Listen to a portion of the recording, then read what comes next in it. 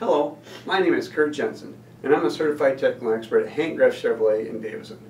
The video you're about to view should give you a thorough explanation of how things work. I personally viewed it myself and found it to be very informative. Enjoy!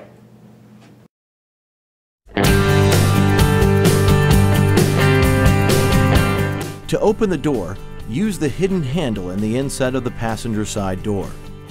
To open the driver's side door, actuate the exposed handle on the inside edge of the door.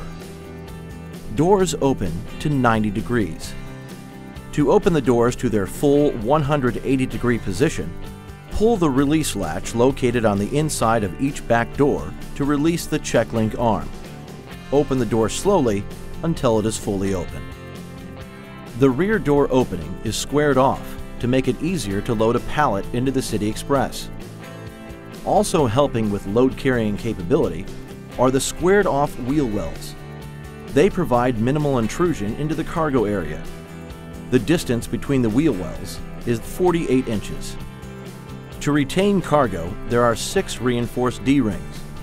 These lie flat into the floor when not in use, so they do not intrude or impede cargo loading pull up on a D-ring to allow the easy installation of a cargo strap S-hook. That video presentation is you confident on how to operate your personal car technology. If you have any questions, please contact me by phone, email, or at my website, www.graffguru.com. Thanks again for watching and have a great day.